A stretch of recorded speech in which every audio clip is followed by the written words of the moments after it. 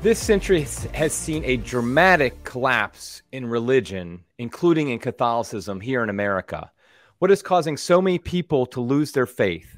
We're going to talk to an expert in the field about this on today's podcast. Hello, I'm Eric Sammons, your host and editor in chief of Crisis Magazine. Before we get started, I just want to encourage people to uh, smash that like button and subscribe to the channel. Also, you can follow us on social media at Crisis Mag. And actually, before I go too much further, uh, this month we're doing our twice a year uh, fundraising. So go to crisismagazine.com slash donate. I had forgotten I was going to say that. That's why I wasn't prepared for it. So anyway, our guest today is, is Stephen Bullivant. He holds professional positions at St. Mary's University, London, and the University of Notre Dame, Sydney. He has doctorates in theology and sociology, his studies of contemporary non religiosity have received wide international coverage, including from the BBC, the New York Times, uh, The Economist, Financial Times, and Der Spiegel. He's the author of Mass Exodus Catholic Disaffiliation in Britain and America Since Vatican II, a very excellent book. And also, most recently, I have it right here Nonverts, The Making of Ex Christian America. Welcome to the program, Stephen. Well, thank you for having me. Delighted to be on. Yeah, this is an, a, a topic that I have been very interested in and followed for a very long time, and I find your work to be excellent. Uh, I was director of evangelization for five years for a diocese. I worked, uh, I was head of evangelization for a parish for a number of years before that. And so I've always been interested in, like, okay, why are people leaving? How can we get them to come back? And I feel like your work is is really helping us to establish a lot of the reasons why people are leaving. Hopefully, so they will uh, come back.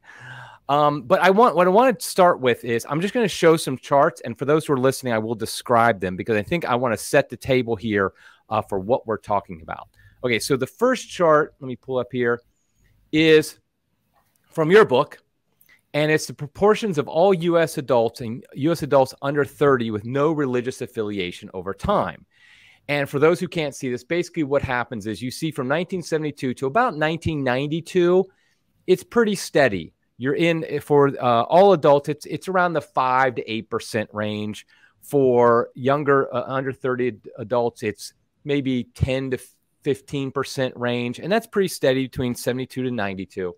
But then you start to see an increase and again, this is um, religious, no people with no religious affiliation. So from our perspective, this is a bad thing for this to go up. And it goes up until it's at 23% in 2018 for all adults and 34% for uh, adults under 30 in 2018. So we see this increase in no religious affiliation. Uh, and I want to show you the next chart is going to be just church membership. This is from Gallup and it's similar numbers. It goes back a little bit deeper. Um, it goes back to 19 early 1930s. And the question is simply, do you happen to be a member of a church, synagogue, or mosque? So again, this they call it church membership, obviously synagogue or mosque, so religious membership. And what we see is from ni- late 1930s to about the mid late 1990s, we again see a, a relatively steady number.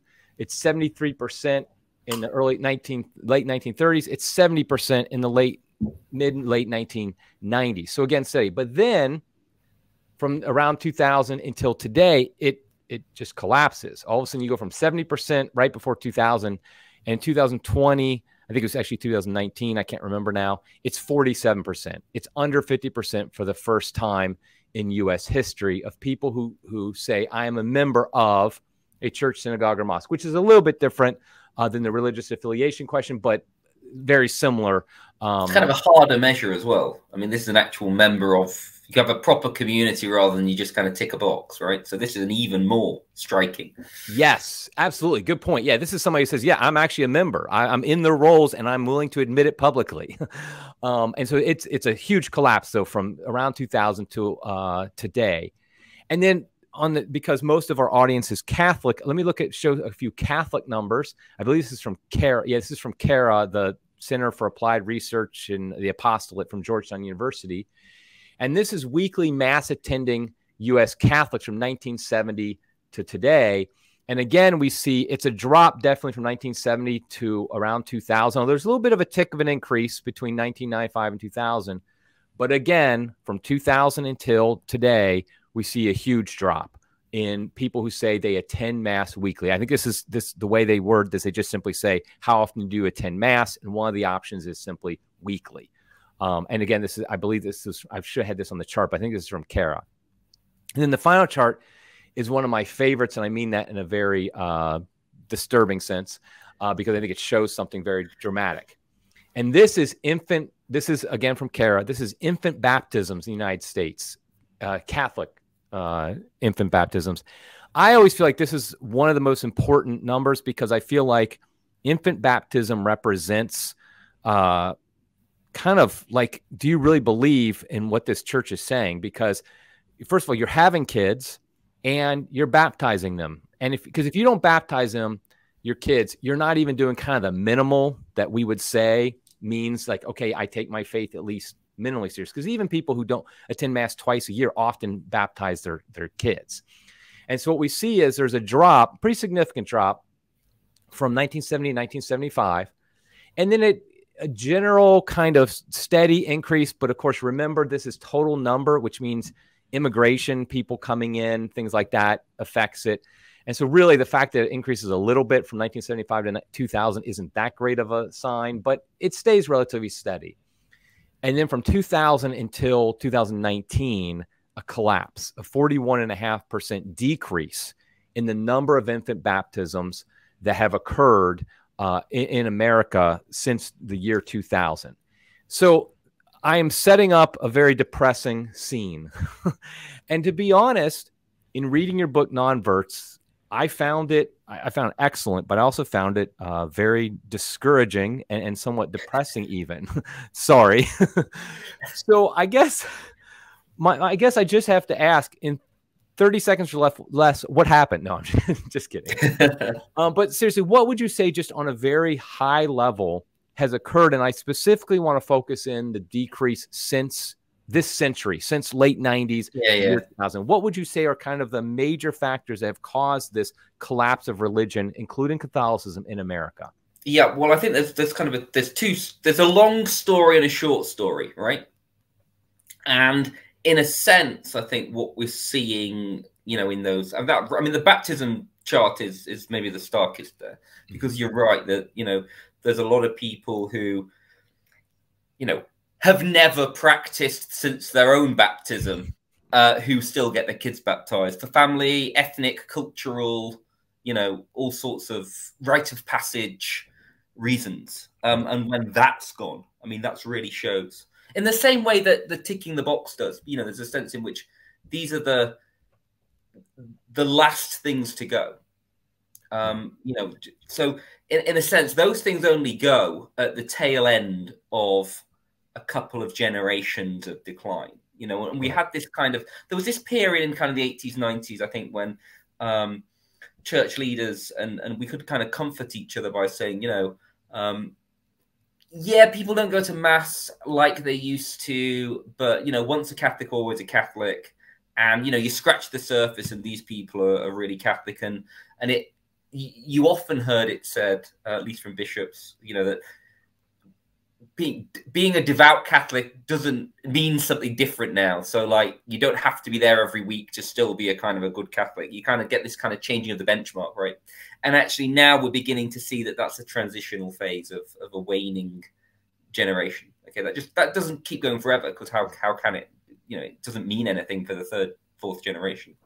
So there's this kind of long story that you can either state after the Second World War, which in in, in mass exodus, so I kind of do that um, then things come to a head in the 60s, partly because the you know the baby boomers are coming of age um, at a time when everything's changing, including in the church.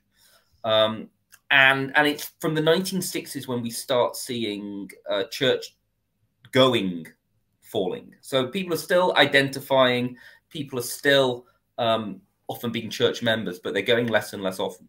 Okay, so if you look at again, as you as you rightly point out, immigration plays in, in you know is a counter effect. There's all sorts of stuff going on in any one place, but certainly a good portion of Catholicism and also the mainline churches, you know, from the 70s, 80s, you know, weekly church attendance is going down and down and down. And then by the time you get to the late 90s, and then this is the sort of the the short story is you've got this generation, the millennials, who have been raised in a much less religious world to their parents and grandparents, are much less likely to have been raised in any kind of seriously religious way. Oh obviously, that's going to look very different depending on your family, where you are, all kinds of factors. You know, if you're evangelical or if you're Mormon or if you're Catholic, if you're mainline, okay. But nevertheless, there's a, there's a much bigger pool of people who have had a pretty weak religious upbringing and they're coming of age at a time. The internet's changing things, less so for Catholics, I think, but also for evangelicals, Mormons, that's a much bigger thing. Um, and it's a time when, after the Berlin Wall comes down, after the end of communism, you've you've had this kind of generation of people who are no longer raised with this Christian America versus godless communism mood music. Um, and it's a time when you know the big existential threat to the country isn't people with no religion; it's people with too much religion. Okay, you got rise of Islamist terrorism. Obviously, 9-11 is is the the most obvious landmark in that, but that's that doesn't just begin in 2001. Um, so it's a lot of things all coming together at once on, on particularly the millennial generation, and it's striking that first chart you showed that it's the under 35s are kind of always the vanguard, um, and it's precisely that. Um, you know, you've got this kind of waned uh, religiosity, uh, you know, of, of, of a whole generation, and then various things kind of playing into that and then suddenly you start getting headlines that say nones on the rise. And then people start thinking, oh, I guess I'm one of those. So the next time there's a survey, more people tick the box. And then it kind of becomes this kind of um, this snowballing effect. Yeah. I, would it be fair to categorize it like this? From the mid 1960s or so, maybe even a little bit earlier, until the mid 1990s, late 1990s, what we see is a weakening yeah. where people are still identifying as I am Catholic, I am a pro, uh, Methodist, or whatever the case may be. But there's a weakening in actual practice and maybe even belief. Yeah, absolutely.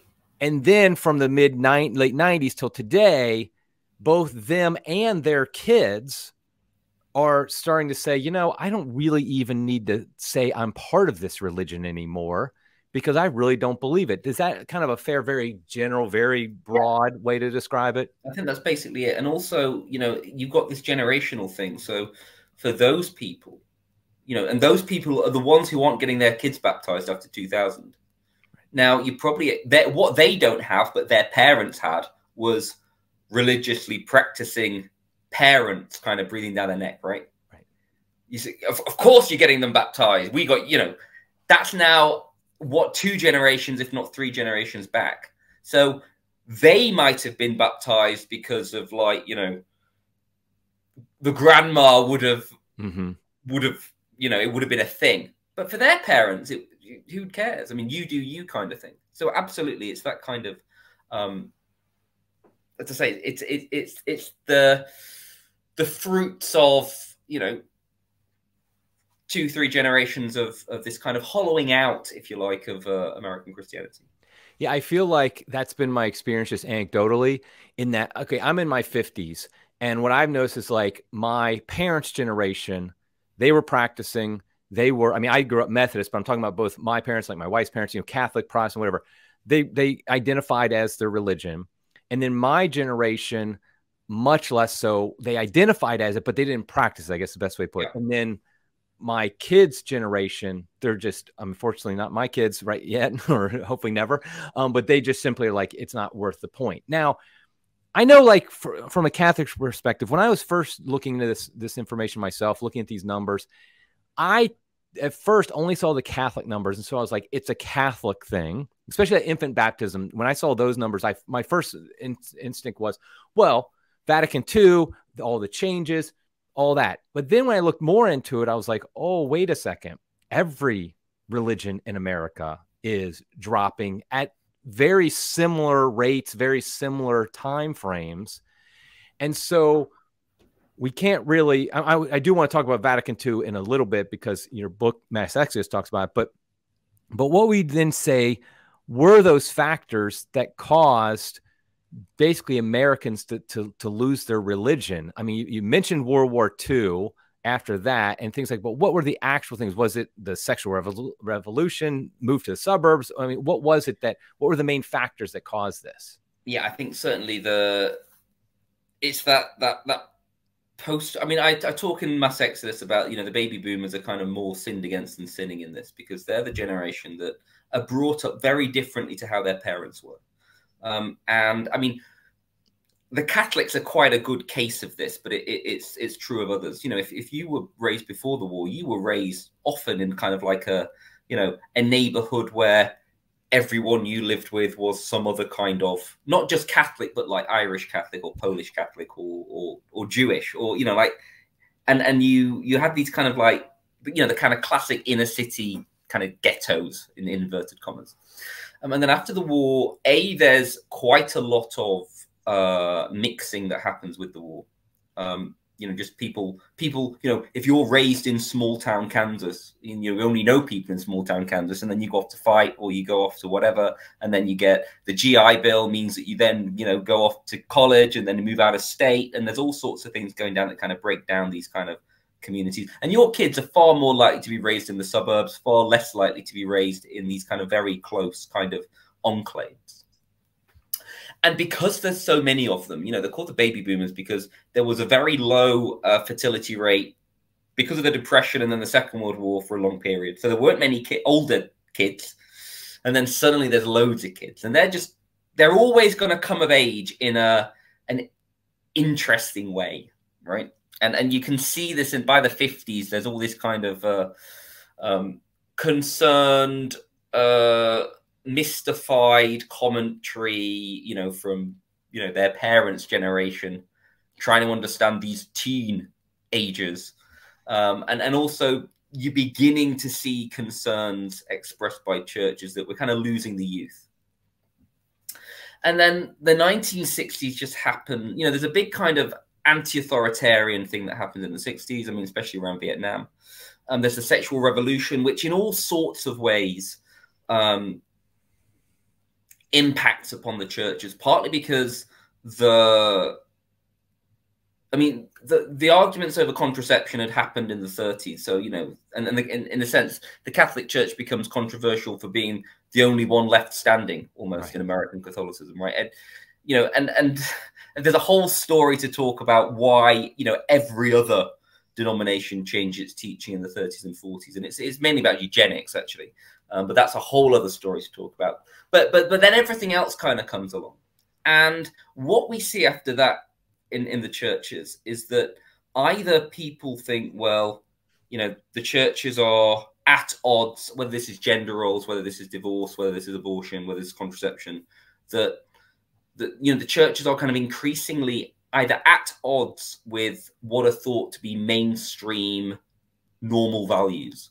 okay the kind of the mainstream american cultural values and norms or you get this kind of arguments within the churches and you see this particularly in the mainline churches which then kind of rip themselves apart either trying to accommodate the new views or trying to you know stand up for the old ways and and there's no easy way to do this. So there's this kind of fracturing of of the churches into the 70s, 80s. Um, there's also, I mean, it's not just a Catholic thing, but there's all sorts of like weird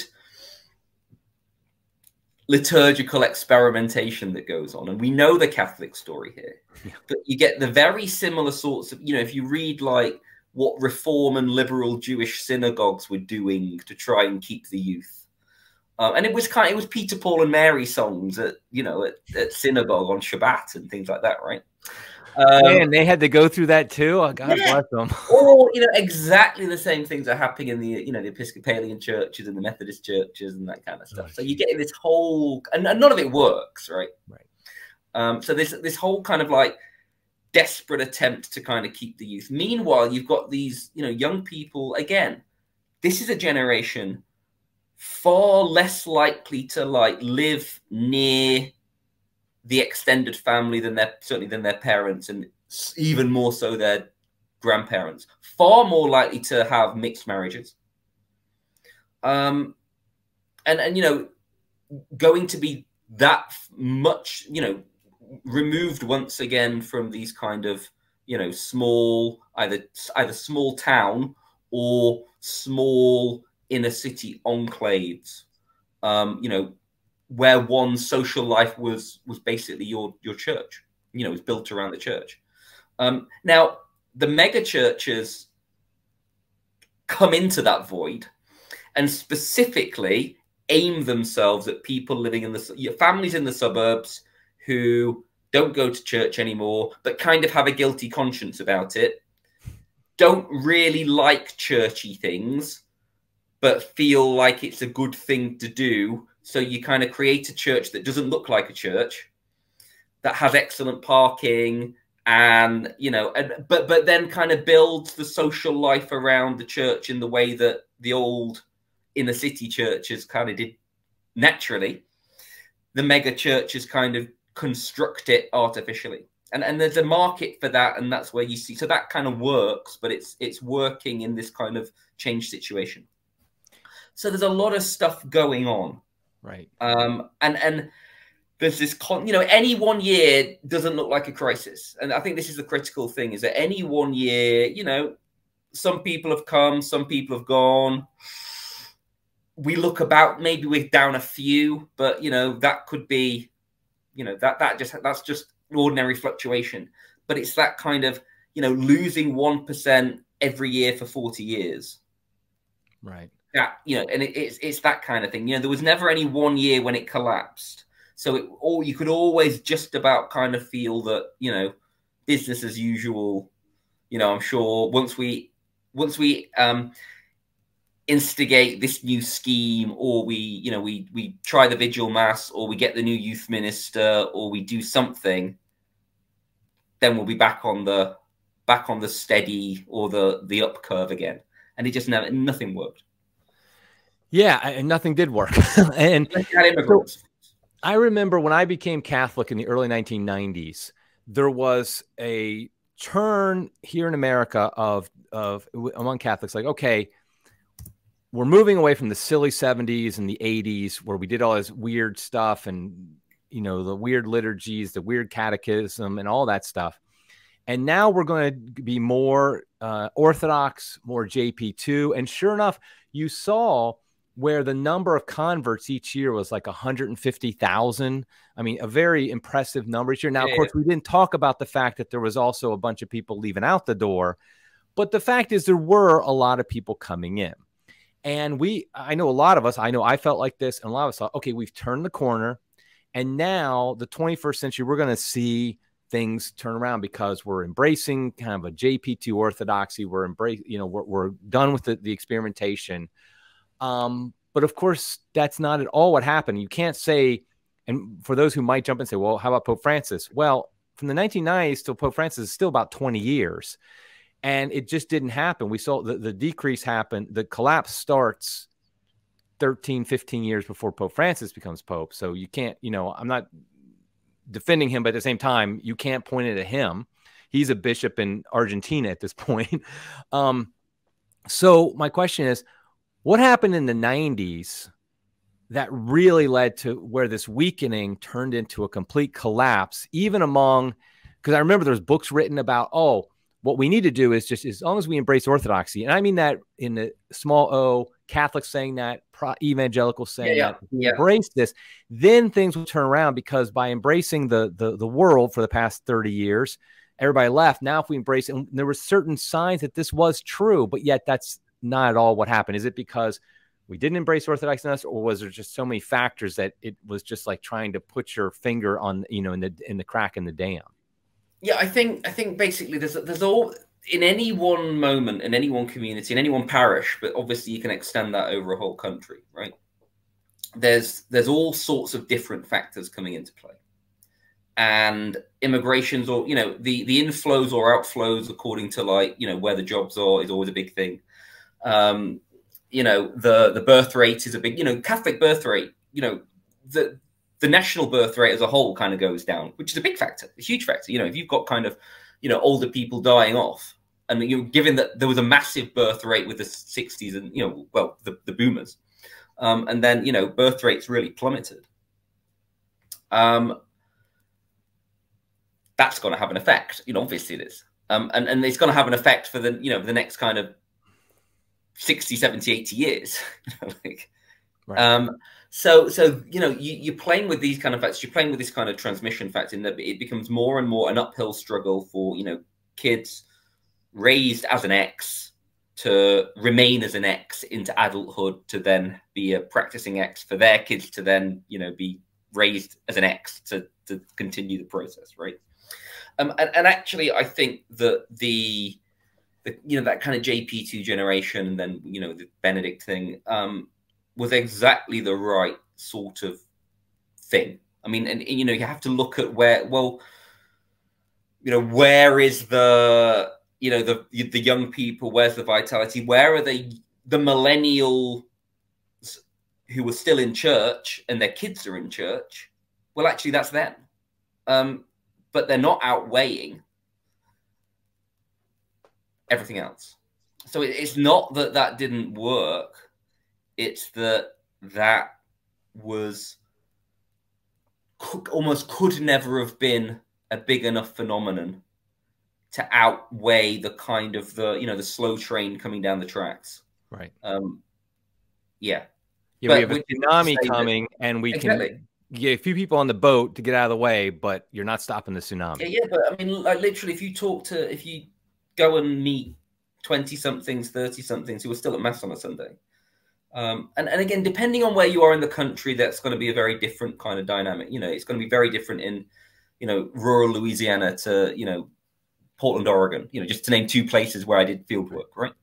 Um, but generally speaking, you know, those and it's even more the case in Britain. So it really is the case. If you're in your late teens, 20s, 30s in Britain, and you're still going to not just a Catholic church, but any kind of church, you've really had to swim against that tide. And you've had to argue not only like with your friends and probably family members, but you know, with a with a, a good part of yourself as to why you are there, why you are still there. You know, what does it mean to you? Does it make sense? After all the scandals, you know, why?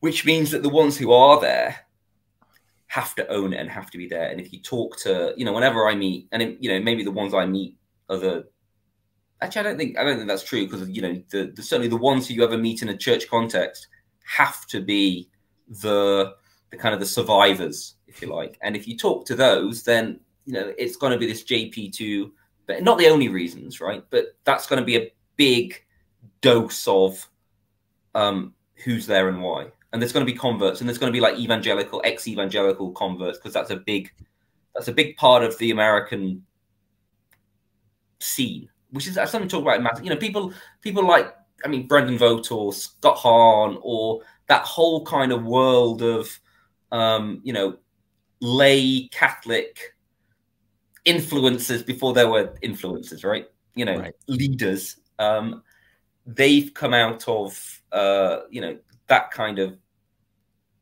very deeply Christocentric, bibliocentric world. And, and that's part of how they've managed to kind of um, keep the faith, but then feel this need to give it to others, which again, in the Catholic Church and the mainline churches particularly, that evangelical zeal, um, you know, really waned.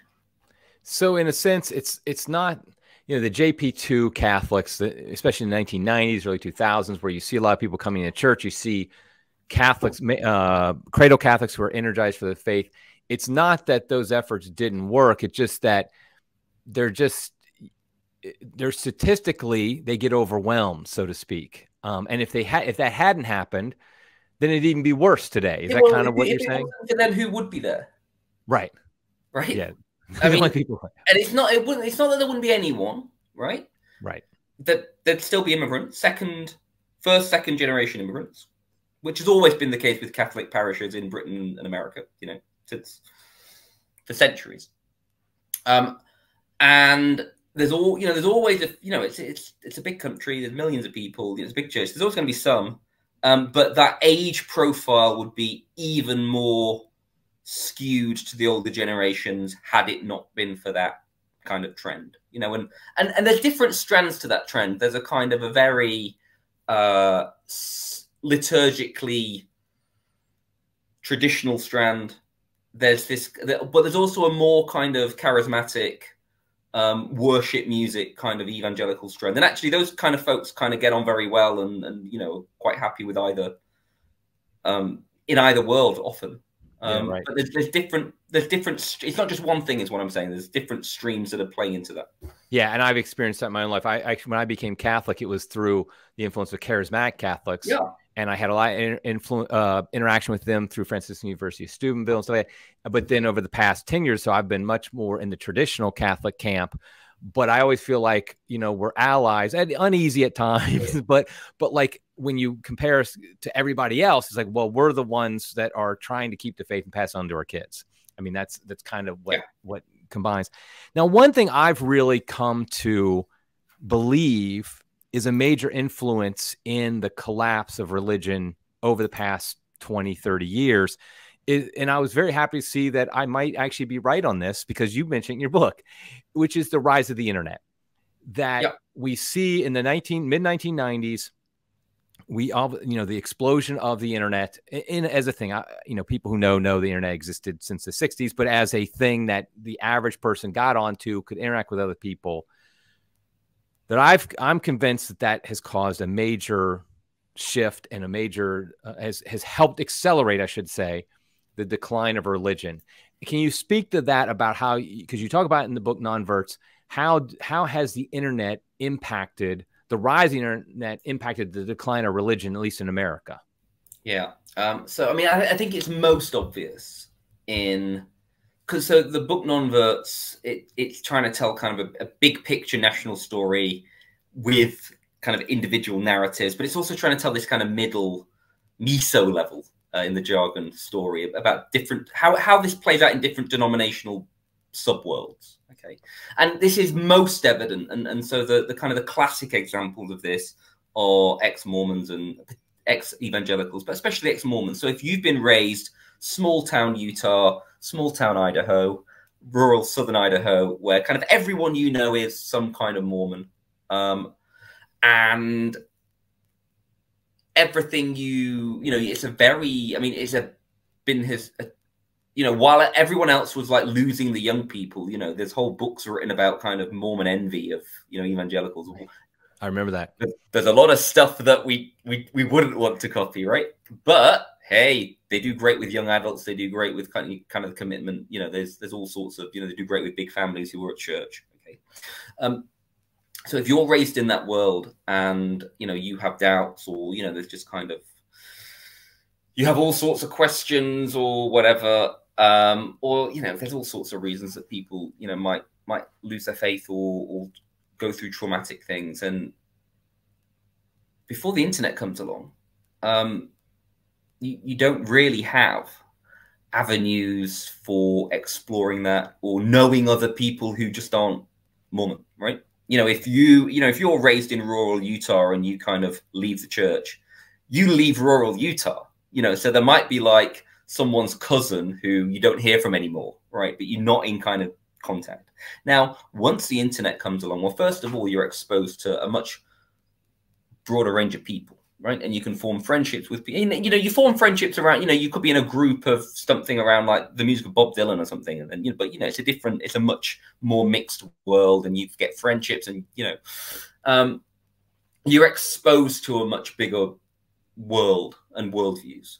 But also, there's this opportunity to kind of find ex Mormons or for that cousin to tell you the real reason why they left and to say, hey, I came across this. Uh, they never taught us this in Sunday school, kind of stuff. Okay. So, particularly for those kind of Mormons, ex Mormons, these nonverts, um, the internet was just this huge thing. And, and, and the evangelicals, too, to an extent, it just gave them access to a different world. Now, for some people, including actually, I was too early for this to have any major role in my conversion because I'm a convert too. But now it's obviously it's possible to find, you know, if you're raised as an atheist or a, an anything, to for all sorts of weird, you know, workings of providence to then find yourself falling into a Catholic subworld online and becoming a Catholic, right? You see this on Twitter all the time. Okay, I've got a an ex colleague who um uh he was a kind of an evangelical Anglican um, and used to, he's a philosopher. He used to have William Lane Craig videos, like just playing in the background on YouTube while he was working in his office. And, and the, the algorithm started serving up Bishop Barron videos. and, and he, you know, over time, he started seeking these out.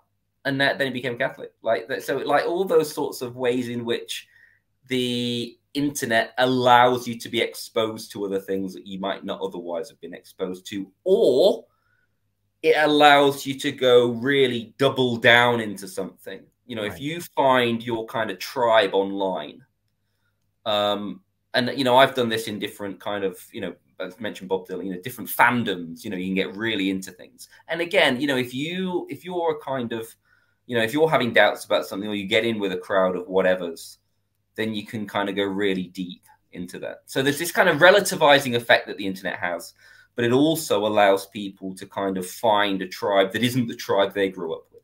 Right. So the internet coming in when you've already got this kind of uh, religiously waned generation, um, absolutely is going to, as you say, I think, accelerate some of those trends as a catalyst. Yeah. So a, a Catholic 150 years ago or whatever who's living in their ghetto, you know, it's yeah. uh, Italian Catholics, everybody they know is Catholic. So more than likely, they're not even uh, exposed to any doubts or anything against Catholicism. But even if they have some, let's say they go through a period of doubts themselves, well, who are they going to talk to? Probably their parish priest about it or their yeah, parents yeah. Or, or, their yeah. friends who are all Catholic. And so they're eventually they'll be like, okay, yeah, I, I'm just going to stay Catholic. But now they have these doubts and they get on a forum, like you said, for Bob Dylan music, whatever, and somebody says something kind of anti-Catholic, that leads them down a rabbit hole. And then all of a sudden now they can they can explore. But like you said, it is true that you can work the other way. In fact, there's a, a, a postulant nun I met recently. She's very young and I found she was a convert. And she, I said, "Well, what's your story?" And she, um, because she's only, I think she's only like 20 or something like that right now.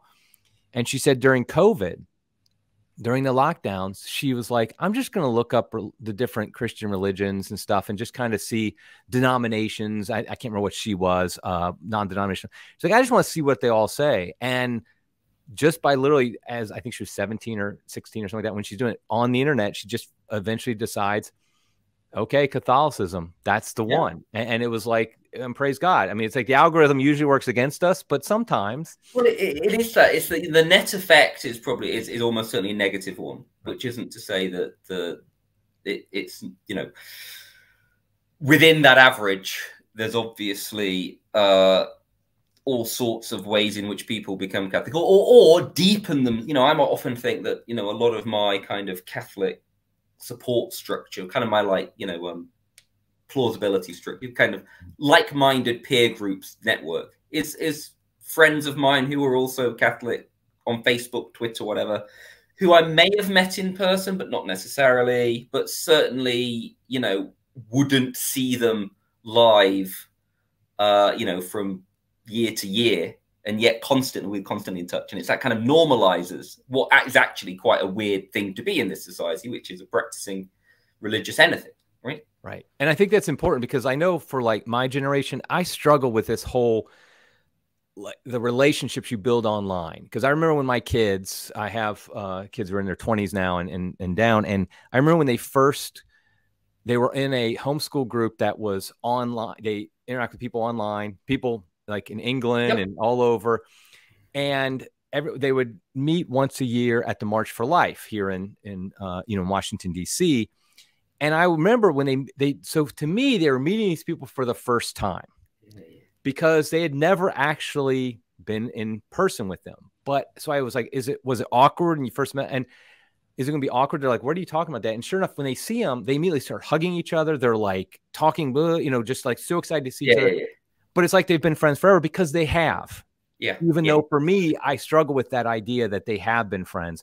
But my point of this is the deep relationships you can build online, and that can go either way. So you start building deep relationships with atheists, you start building deep relationships with ex-Mormons, if you're Mormon, you know, whatever the case may be, those are real. Uh, as much yeah. as I don't really, I struggle to admit that they are real relationships and they have a profound impact on people. Um, and so I think, like you said, because of the weakening already, the net impact has been negative for religion, but there have been, fortunately, uh, ways it's been encouraged as well. Catholicism and religion have been encouraged. Um, I want to I want to now focus on Catholicism specifically. Yep. So we've talked about in general they're weakening after the 60s, then the collapse in the 2000s.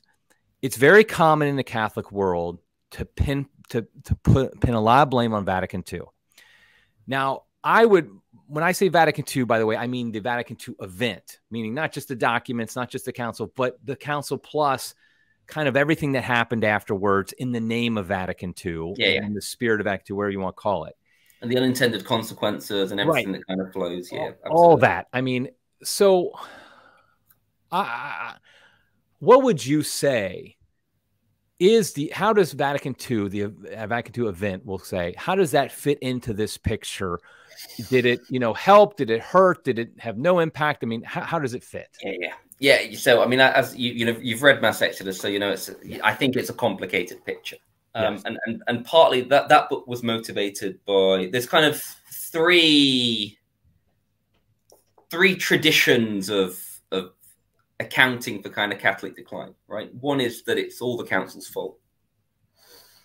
One is that, every, again, broad brushstrokes, but the council was great, and it was the the stifling or the suppression of the council that's the fault of it. Okay, that that everything was going great, and then we had these uh, conservative crackdown popes, with beginning with Humanae Vitae, obviously, and then everything afterwards. And if we had just let the spirit flow, then we wouldn't have these problems. Okay. Um, and and then the third one, and that's just kind of like you know normal sociologists and social historians of kind of secularization. Uh, they might talk about the Catholic story for a bit of color, right?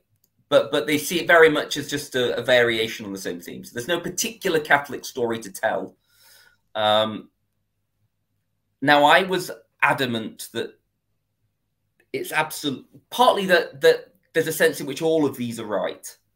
Um, it's a it's a big enough pie um, that there's there's plenty of room in it for all these different types of explanations to have kind of some some contribution to the whole. Um, I think that there's absolutely a Catholic story to tell. So there's obviously bigger national level, and again, this is where it gets nebulous, but kind of secularizing forces that play out on all the other churches as well at different times, at different speeds, with different severities.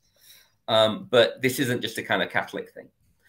Equally, you know, it's true that the Catholic kind of rate, on the one hand, probably looks a bit better than certainly the mainline churches. Um, but actually, if you look at where Catholic mass going was before the council, um, you know, if you if you look at kind of Catholic religiosity can kind of compared to everyone else before the council, we've fallen a lot further to kind of now be where everyone else is. So I mean, that's an important thing to say too. I think.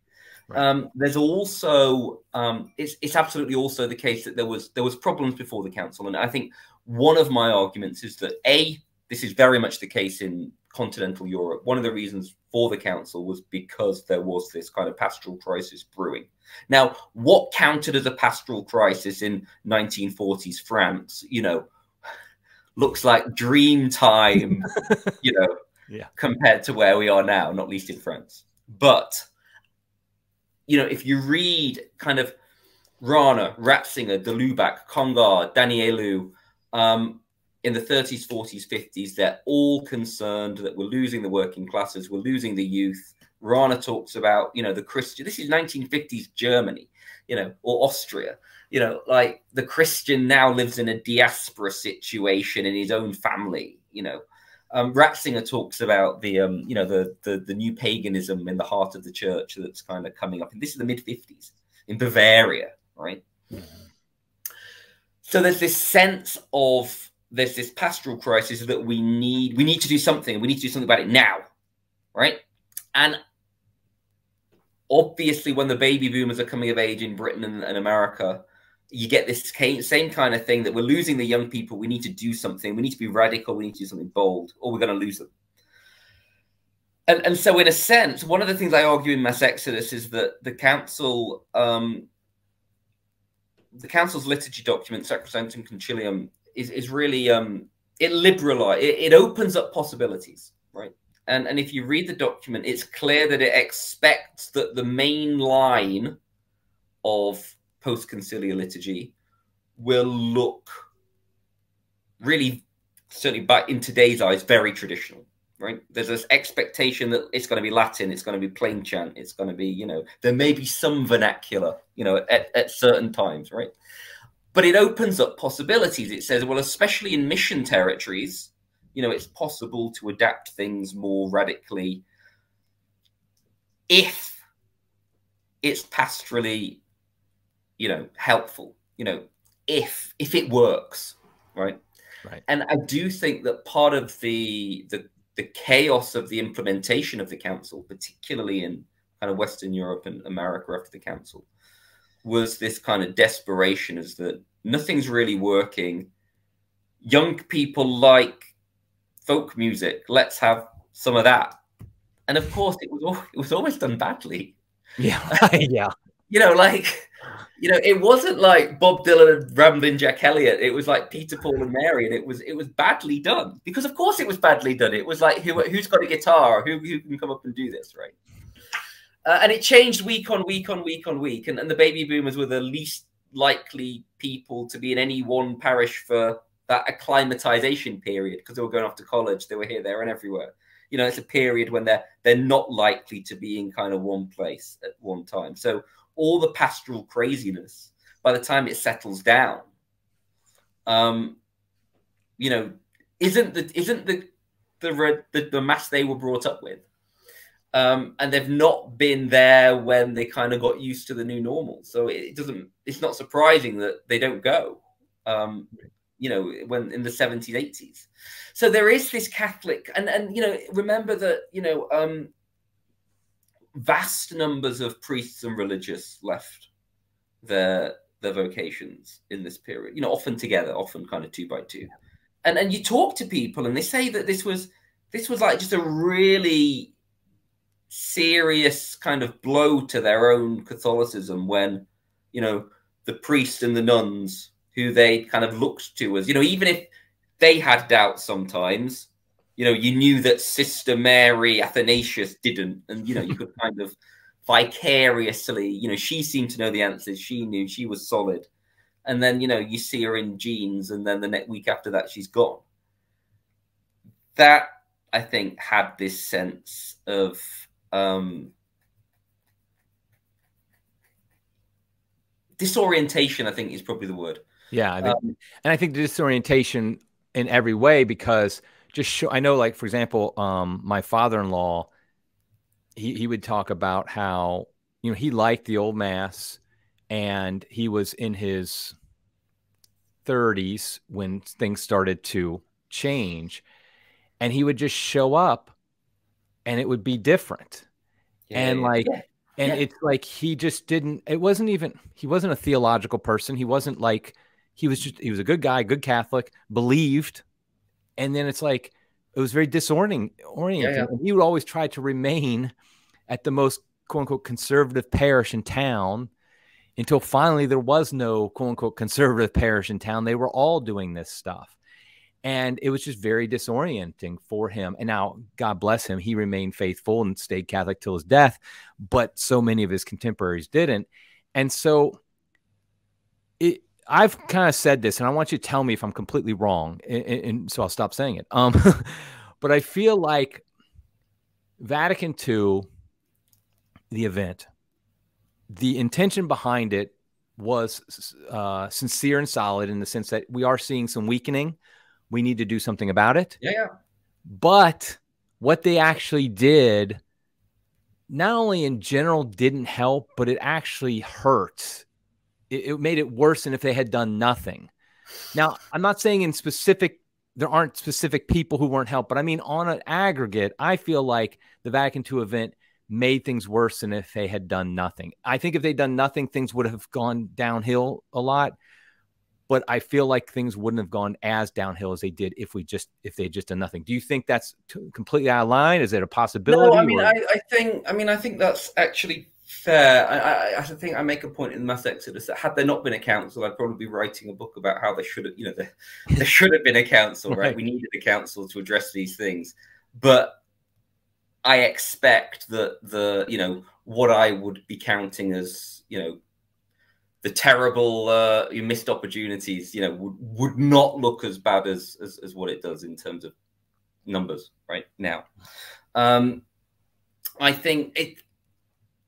The, I think one of the, the the tragedies of the council, if you like, was if you had to pick. Well, first of all, that there was a and I'm thinking particularly about liturgical reform, right, and, and and how it played out. There was an what you might call a an anthropological naivete around how it works because there was this idea that well we need to get rid of all the um, all the extras, all the accretions, all the the superstitious add-ons, so we can focus on the mass And if we you know, we don't want people saying the rosary in church. We don't want the tabernacle in the middle. We want to have that off at the side because it's all about the mass. But actually, you know, this idea that somehow, you know, someone who was kind of, you know, at the parish every evening, you know, like sewing sequins on the, the, the dress of the infant of Prague or anything that was going on, novenas, you know, 40 hours devotions, that the people who were doing this were somehow uh, less focused on Sunday. So if we get rid of all that, then Sunday will kind of rise even greater. And actually, it was, it's the opposite. You know, what all that is, is the scaffolding that holds Sunday up. And if you get rid of everything, then it's just Sunday to Sunday. Now, there's all sorts of reasons why that kind of rich, kind of paraliturgical life was on the wane anyway because there was a lot more to do on you know mid midweek evenings and the you know and the baby boomer you know girls were not probably going to follow their mothers in you know whatever sodality of whatever it had been right? Right. So there's all those sorts of changes happening anyway. But the the kind of the sweeping away of the saints of, of of kind of normal devotions of you know statues with candles in front of them in churches. Um, of, of, of, friday abstinence is, is the classic case here. Yeah. you know even people even kind of people who are seen as kind of liberal comment andrew greeley is not regarded as one of the you know the kind of the trad sociologists because you know commentators on on american catholicism. He thinks like friday abstinence getting rid of that was just the greatest kind of own goal you know shooting yourself in the face let alone the foot. I have met people i've met I, I, remember talking to a man who literally left the church over that. Now he fortunately came back for his death but i mean he said because in his mind was the church said it's a mortal sin to eat meat on friday. Yeah. then all of a sudden the next day they say it's not a mortal sin to eat meat on friday. Go ahead and do it if you want to. And to him it's like why should i believe them about anything then if they're if they're able to say something's immortal now i i mean yes theologically we can explain all that yeah. but i'm talking about just the average person yeah. does not have that training. They just say well if you're going to say it and so when they also say at the same time that the pope says that it's a mortal sin to use artificial contraception but my bishop didn't say that. He kind of my priest kind of suggested it's not. Well why should i even listen to the pope? Because today might say that but they drop friday abstinence they're probably going to drop the artificial contraception ban one day too and so, why should I even listen to him? I was literally about to make that link because it's the, the reason why Humanae Vitae becomes a thing. We talk about in the wake of you know the aftermath of Humanae Vitae, is because it's the one thing that didn't change. Right. And you know, there's no aftermath of Casti Connubii or whatever. Right. No one expected, you know, of course the Catholic, Catholic Church doesn't change, right? So it's not going right. to change that. Um, and, and, and I think the, the, the the reason why Humanae Vitae was this massive thing was arguably it was the one thing that a significant proportion of the laity could happily have seen changed. Mm-hmm. And not only could everything else change, but also they'd, they'd had like a, a couple of years of being kind of informed by priests and you know bishops, and if they were following the the religious press, you know, the word on the street was that it was going to be changed. So you'd have, you know, you'd have marriage prep telling you that, well, they're going to change this in a, you know, they're going to change this, or you know, a guy I know in the Vatican says, you know, all that kind of like priests who are staking their authority and and cred, street cred, if you like, on it's going to change, and then it didn't, and it's that kind of the one immovable thing um, that that becomes the, the stumbling li literally becomes the stumbling block. Um, and and that was the you know if, if nothing else had changed including and you're right about things like you know you look back and you think well why were people equating friday abstinence with you know much more important moral matters? But in fact people do because the church says church says that and that the reason is that the church has always said that. And there's a better theological reason but the kind of the immediate prosaic reason is that well this is what we do. Well it's an identity thing too because yeah. If they are ever around non-catholics they're identified by the fact that they're not eating meat on friday so when yeah, they go out to lunch with their coworkers on a friday everybody knows oh yeah george has to he has to have fish or he has to have whatever he can't have meat because he's a catholic and this and is, I mean, my, my favorite anecdote here is, is is about the McDonald's filet of fish sandwich, which is which is from my hometown, Cincinnati. That's where right. it started. Yeah, so, yeah. And, actually, and right down the street from where I grew up. yeah, because a franchisee in a Catholic neighborhood was taking a massive hit in his takings every Friday. Right. Um, and so he creates a fillet of fish, and that just wouldn't happen afterwards. The fillet of fish isn't even isn't. I'm not a fan of the fillet of fish. Oh, right? it's awful. It's it's, it's, awful. I don't. It's not meat. Fact, I don't think it's fish either. Exactly, but the fact that that was the sort of the great you know. That neighborhood, uh, like I said, I grew up just very yeah, yeah. right in the next neighborhood. That's very Catholic area. Absolutely. Like you, you literally the thing you asked people when you met them is what parish do you go to? Yeah. That was the question, and that's where it started um, because that was the identifying factor.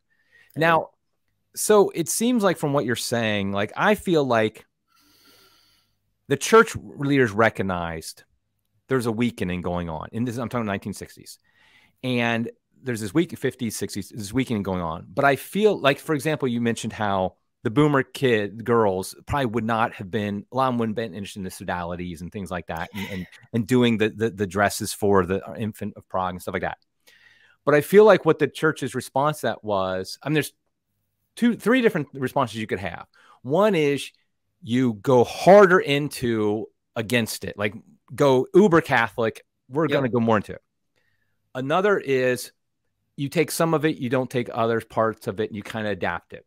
But I feel like what they did was the third, which is we're going to lean into it. Okay, the girls aren't going to join sodality. We're going to abolish the sodality stuff. We're going to the the the the, the kids don't really like mass. They're kind of confused by Latin and Latin. We're going to completely abolish Latin, mass and Latin. They like this music. We're going to completely embrace this music in the mass. And I feel like they just went completely in on it and that was not I don't know if the first or second are the right answer, but I'm I, I feel like we've got pretty good evidence that the third was not the right answer of just going into it. Does that make sense? No, I, th- I think that's right. I, you know, I make a chess analogy, which is it's never the you know I don't go for a sports analogy that you know you know this kind of queen sacrifice. You know, it's if it works, it's like this like glorious you know sacrifice that led to the you know the the win. If it fails, then it it it's catastrophic, right? And and I think that, that, that there's an element of that, but also I think that there was this kind of, I mean, I think uh, one of the things is that you know if you had to pick a moment in you know the past I don't know however many centuries, you know if you had to pick a decade to do some pastoral experimentation, um, where you kind of wanted you know the nearest thing to kind of social laboratory conditions where you know all other things being equal let's make some changes and see see what the effects are the 1960s in um, anywhere, but also but in America particularly, is the the one decade that you'd avoid where everything's changing. You know, everything's gonna change. So to be, you know, messing around with key bits of Catholic practice and identity and belief at a time when everything else is changing partly means that you can always blame anything that goes wrong on something else right you can always say oh well it wasn't what we it wasn't it wasn't the liturgical changes that that that, that didn't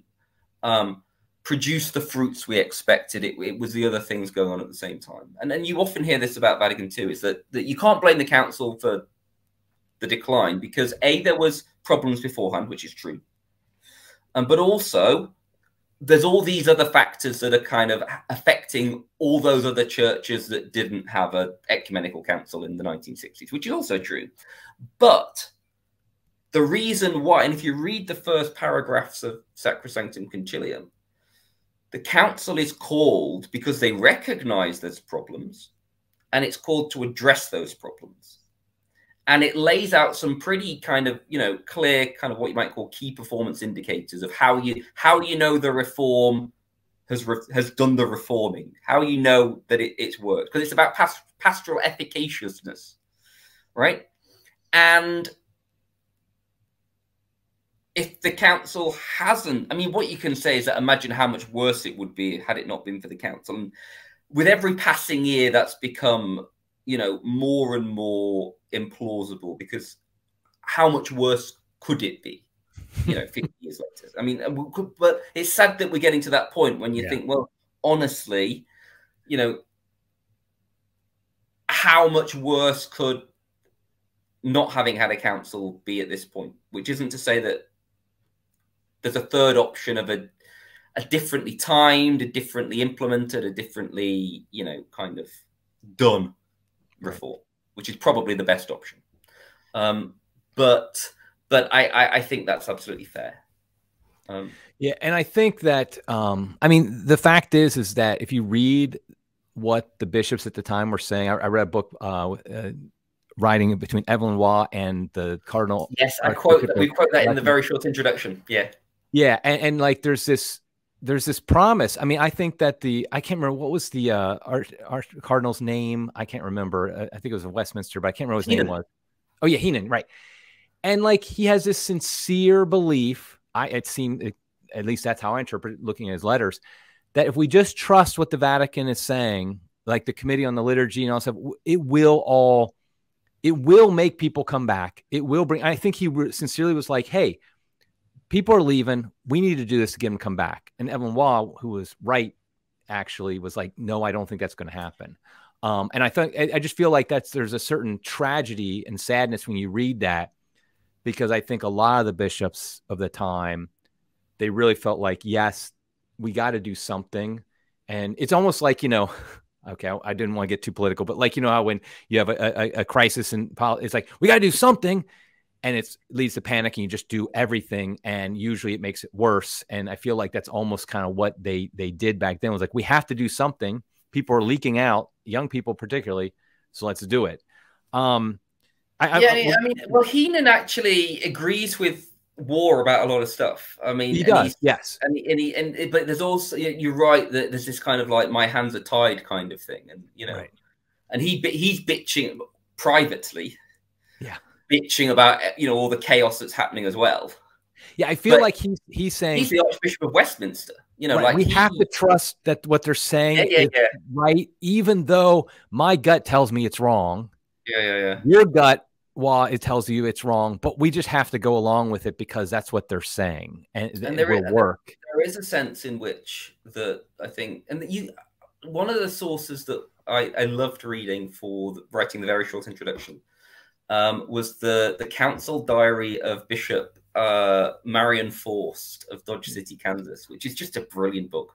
Um, and it's just his kind, you know, not one of the major players, right? He's just kind of one right. of the bit part people commenting his, you know, his, his thoughts throughout the council.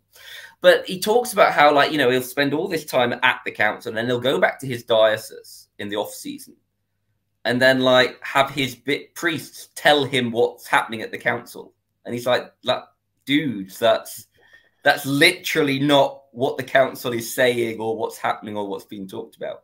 But there's this kind of um, runaway effect of this kind of uh, what the council is is is intending, meaning um, that only grows after the council.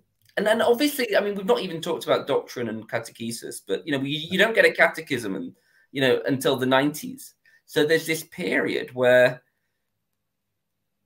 you've got competing accounts of what the council has taught on various issues. Right. Like yeah, things um, like the um, Dutch Catechism. Yeah, exactly. So there's all this kind of and and and then there's this whole new catechetical style. So you know, people argue that we've got this kind of like lost generation who were never properly catechized, which again is probably true. Yeah. Um, but again, there was this sense in which you couldn't use the old catechisms because they were now out of date. But we didn't have anything new that was actually solid, you know, until the best part of 30 years later. Now I, I, knew this was going to happen. That we're going to go longer than normal. I hope you can stay because I, I, I want I, I, I want to address today, like what do we do today? What is working? Now, one of the things I, I, I have mentioned numerous times. I've, I've, I actually did a survey, um, uh, of this for crisis, and that is the uh, rise of the the Latin mass communities. That if you look at the numbers, just objectively most places in in the west i'm talking about america you know western europe canada things like that you see a, a, huge decrease in numbers in catholic parishes. But we're also seeing an increase a pretty dramatic increase especially in the past couple years with the latin mass communities. And I'm, we could go into but not, we're not going to like pope francis response and all that stuff. But the point I, I, my question is do you think that is something that can be would be the answer or a answer that would that could be widespread? Or do you think it's more a matter of simply the few catholics that are left they are more likely to embrace such a thing? And so a lot of them are leaving their novus ordo kind of wishy-washy parish for the latin mass and that's really it's really more that than anything else like where, where would you say that it, it ranks and all that yeah i mean first of all i'm we used to go to the Latin Mass uh, when there was one.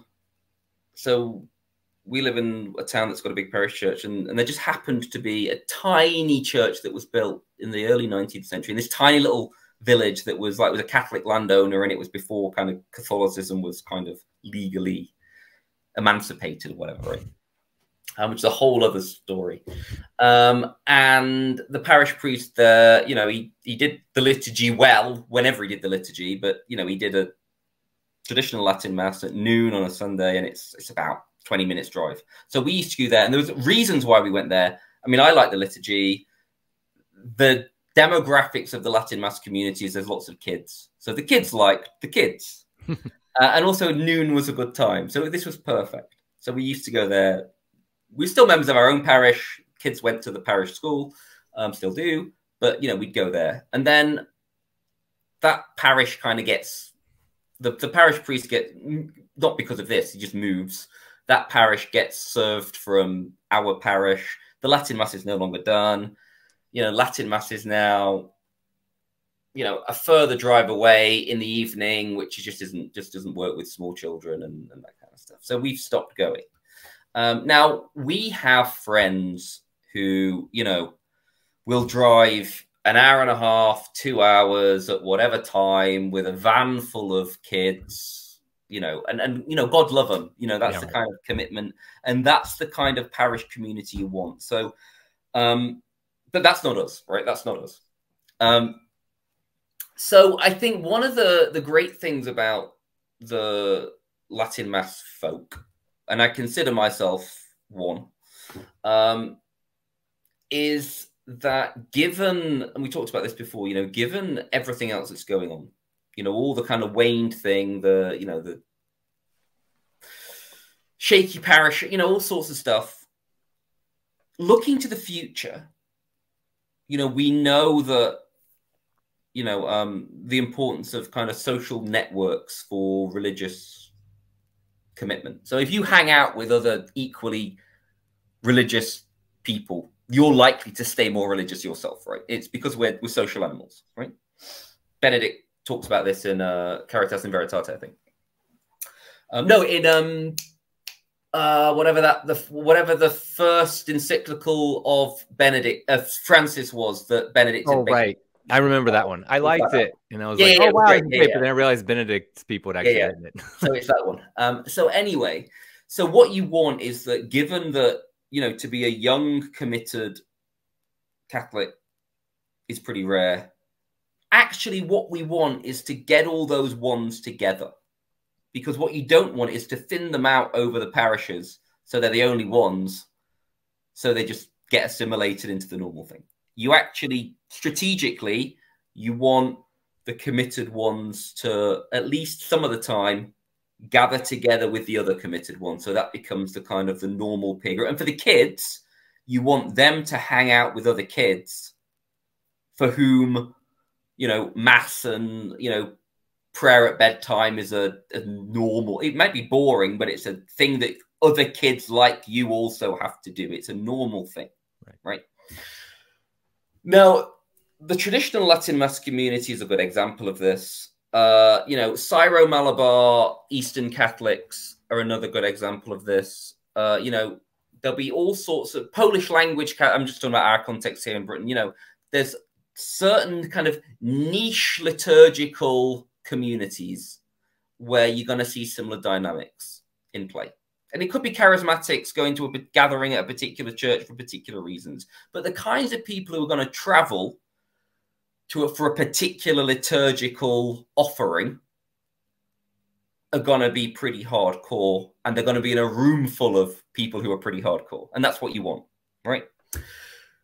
Now, I think in this country at least, and you know, whatever things might be like in individual dioceses or country. I don't know. I mean, I never saw. I mean, I'm not saying that there aren't problem trad communities, right? Who are basically schismatics and aren't doing whatever.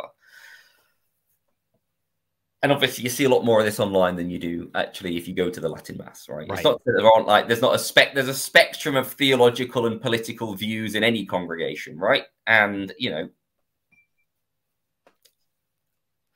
the Latin mass communities that I've been to in Britain or America seem like exactly the sorts of thing that any bishop and any Vatican would be wanting to foster as part of the ecosystem. It's not for everyone, right? I, am I'm, I'm really not one of these people who think that. So if you know, if we came back to the Latin Mass, you know, all the problems would be solved. I, I think, in a sense, the loss of all that, um, 50 years ago means that unless it grows organically over a long period of time by you know gathered communities for whom this is normal who then get the opportunity to have that as their ongoing formation when they have their kids and that kind of stuff um, like the eastern catholic churches do ideally. Um, you know i don't think that you know if, if we all suddenly went i think we'd have this kind of massive crisis again because that's not people's mass. And people don't like change, right? And now the people who are there are used to something, suddenly changing it in any big way. Uh, it, it, just isn't going to work. And now that's not to say that there isn't, and, and this is the great thing that Benedict had. Benedict had this idea was like, well, there's certain people who want this and are spiritually nourished by it, which I think is actually a very kind of Vatican II view, is that there's certain liturgical configurations that are more or less pastoral, pastorally efficacious with certain groups. And you know, the the Latin rite is big enough to accommodate these differences. And that seemed to me to be a very healthy view. And it also allowed this idea of, you know, the the cross fertilization of, you know, so you get a lot of Novus Ordo priests who celebrate Ad Orientem, for example, you know, which is a kind of a you know a retro move, or you know they'll have a bit of Latin in there, or they'll do certain things that, and, and that seems to be quite a healthy bringing together the two worlds for a time. I think the crackdown on it is is whatever the problem was or is in certain places, the solution is is is a pastoral disaster and and just cruel actually yeah, that's and, and, and it, it, it's a it's a time when you know almost any group of committed Catholics ought to be cherished and nurtured, let alone ones that are having lots of kids who all love the you know who, people who love the Catholic faith and and and you know it, it seems a crazy purely on a pastoral you know forget about theology forget about you know liturgical history or whatever, purely looked at kind of strategically, pastorally, it's crazy. Yeah, it is. Um, it kind of brings me to one thing I want to bring up, which is kind of the response. Like, how should Catholics today respond to this? Uh, and not just Catholics, but all Christians, religious, uh, to the decline. It, and you bring it up in your in Nonverts near the end as you all you present almost two different categories of response from practicing Christians of what to do. One is the you know the the I think you call it exile in place quietism, kind of the Benedict option. The okay, let's hunker down and keep the faith in our community, keep the faith, pass it on to our kids, and wait for a better day, so to speak. Almost you know like Saint Benedict, as Roger uh, suggested, did through the Dark Ages. And then the other, which I know you had a difficult time, I think, finding a name for it. I think at one point you call it like uh, MAGA Christianity, yeah, just yeah, the yeah. idea that you that we we go out there and that that like the first options for wimps and for defeatists and whatnot. And I see this online all the time where you, you see two people who are both devoted, practicing Catholics who love the Lord and, and want the church to succeed one will be of the more Benedict option, one will be the more of the MAGA Christianity. And boy, they really can go at it. I mean, and and, and so the idea of the MAGA Christianity is more the we got to fight and we got to retake the culture type of thing.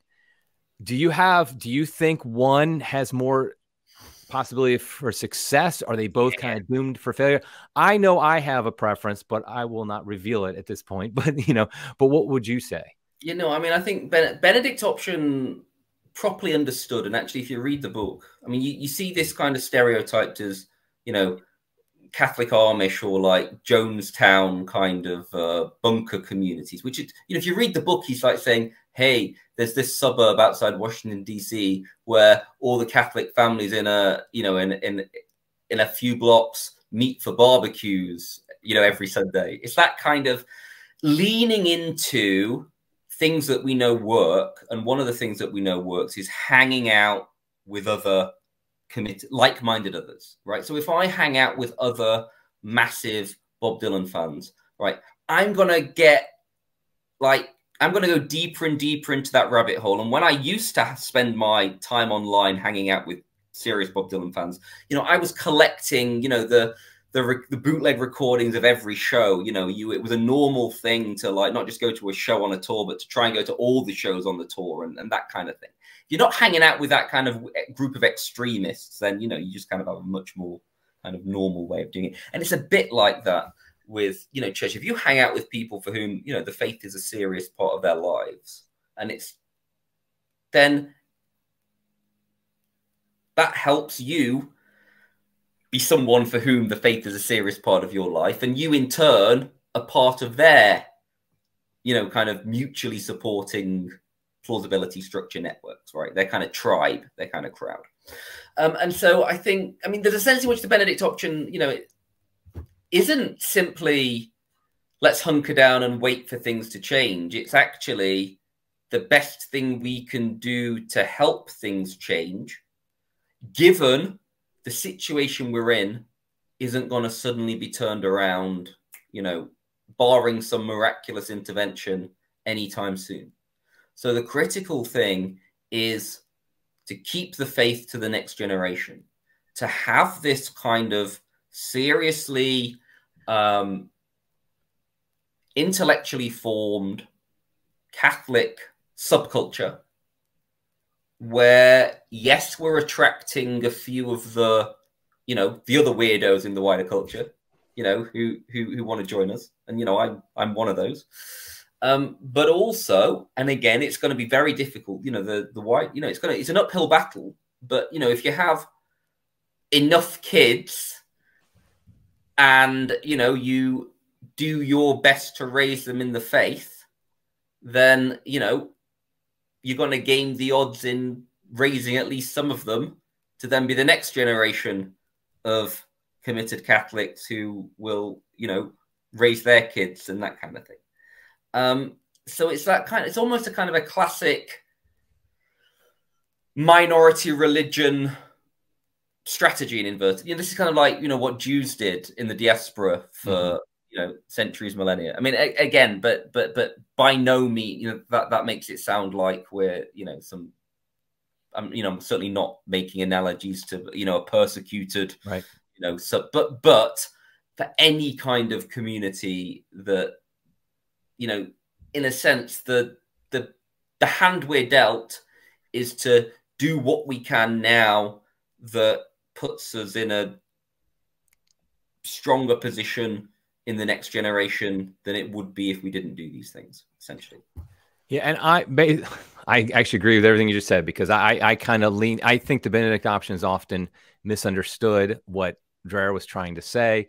And i think that um i, I think for example we go to a latin mass community uh, parish uh, we homeschool our kids. Actually our, our parish also celebrates the novus ordo but we go to the latin mass there. Uh, we we homeschool our kids, um, and so that alone, you know, we our kids watch Veggie Tales, so therefore that alone makes it that we're part of we're we're living out kind of what he was saying with the Benedict option because we're living a, a counterculture. And well, we still go to baseball games. We still go, you know, we st- it's not like we're, we're not Amish. I mean, I, I got nothing at the Amish, by the way. You know, God bless them.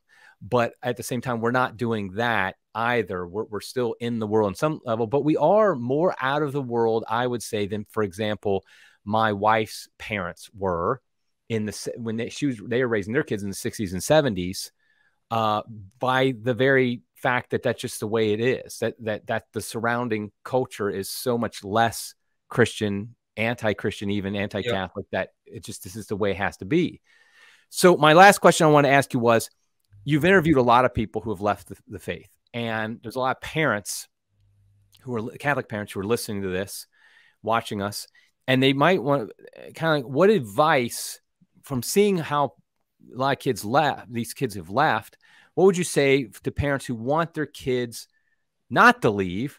I mean, would it be that be in a community like you just said, or was there is there some advice you would give that you know that what what you you've seen what doesn't work that could work that, that parents could do? Yeah, I think first of all, um, you can do everything right and still end up with kids who leave, right? Like, and there's there's you talk. I mean, I I talk to a lot of parents who say literally we did we did everything right. You know what's what's going. You know, we love our kids. Our kids are great. We love their partners, but the great sadness is that the kids don't aren't baptized and you know aren't taken to mass and you know that kind of stuff. Um, and you can do everything right and, and that still happens. And and you know, that's just the that the hand we're dealt. Okay. Mm-hmm. Now the things that we do know like help game the odds. And you know, we really are talking about on you know, on the average, is the th sorts of things that uh increase the likelihood of any one person growing up to be a religiously committed adult is religious practice in the home growing up. Um, you know, and that's not just going to church on a Sunday. It's things like, you know, praying before meals. It's things like, you know, uh, hanging out with other Catholic, whatever the well, Catholic in this instance families. It's this kind of intentional religiosity. Now, you can read a lot of. There's plenty of people who were raised like that who have left, right? Mm-hmm. But on the which is that's that's true. But on the average, that helps, right? You know, you sometimes say it's like, well, you don't want to raise them too religious because then then they always rebel. And it's like, well, actually, some do. Um, but the average is that, you know, it, it's much better odds than than than not doing that. Um, I mean, the other thing, I mean, there's this kind of balance between being and you know, different families, and especially depending on where you were uh, you know, are going to draw the the kind of the the cultural distinctiveness differently. You know, do you send them to the the the, the public school or the Catholic school? Do you homeschool? Do you you know only watch EWTN? You know, do you only watch whatever? Do you actually think that the that what the church needs is culturally, you know, a conversant, normal people who are also very deeply rooted in the faith, which actually I think the church does need. Um, it's that kind of balance, and there's really there's you know there's no kind of set path to, you know, there's there's there's, there's no silver bullet. There's no kind of you know, here's this one weird trick that that that kind of solves the problem. But I mean, the basics really, and and maybe the basics are what we lost after the council. You know, praying, novenas, saints, um, all those sorts of things. A social life, you know, it doesn't have to be about churchy stuff, but if you're hanging out, if you're playing football with other churchy people, if you're kind of just doing normal things, but that's your social group, that helps. And actually, you know, mega churches, again, not a silver bullet, but evangelicalism compared to our numbers, you know, are doing better because they kind of gamed that system in a certain sense. Yeah, I, I think that's that, that's great advice. I, I really do think that is because it's like a lot of times trads are attacked because they, you know, you just want to go back to the 1950s. And really, it's more a matter of, I just think that things like Eucharistic processions, no, doing novenas at church, praying the rosary as a family, you know, having uh, uh, meatless Fridays, all these things are little points of contact with yeah. the faith that do help pass it on. Not 100%, but better than if you don't do them. And so yeah, it's like, absolutely. you know, so we want to do those. They're good in themselves. Obviously, something like procession stuff is good in itself. But from a parent's perspective, I also know that they do help deepen that connection. I remember Cardinal Dolan wrote about this years ago about the Catholic identity markers like Meatless Fridays and ashes on your forehead on on Ash yeah. and stuff like that. They really do help pass on the faith. Um, and so I think that, that that's you know, so we should make sure with our kids we do those things. So it doesn't guarantee it, like you said, but it does like game the odds a little bit in our favor. Yeah, there is a spectrum. You talked about the Amish. I mean, like the Ar- the Amish do a great job at keeping people. The Amish are like I talk about this in the book, like you know, high birth rate and keeping most of them Amish. You know, generation on you know the Amish keep doubling about every twenty years. I mean, like there, there comes a point when we'll all be Amish. I mean, like you know, trends continue, but that's obviously a particular choice that that isn't that certainly isn't kind of you know the we're called to be in the world but not of the world kind of thing. Right. Um, there's obviously a spectrum from that to kind of full cultural uh, and then actually becoming you know one of the things that I think is critical in all of this is, you know, like even what the day before yesterday were just kind of like normal uh, mainstream positions are becoming more and more deeply countercultural, especially on life issues. Right. Um, and actually, any kind of uh, holding to these is going to be marking you off from, you know, the wider culture. Right. You just have to deal with it. Yeah. Okay. Yeah. I'm going to let you go here because I've taken your a lot of your time. I really appreciate it. I could, I could go on forever, but I want to encourage people um, to get your books, the uh, Nonverts, the making of ex-Christian America. That that's your latest, and it's it, excellent. I just, in fact, I won't say who it is, but I recently talking to a very influential Catholic person in this country. We'll just say that, and I, I told him you got to get this book, and he literally pulled out his phone and he bought it like right there that moment. So that is after the, when we when we in secret. Yeah, I will. Um, and also, but I also recommend Mass Exodus. Mass Exodus. Um, when did this come out? A few, a couple years ago, right? Like two or three years ago, something like that.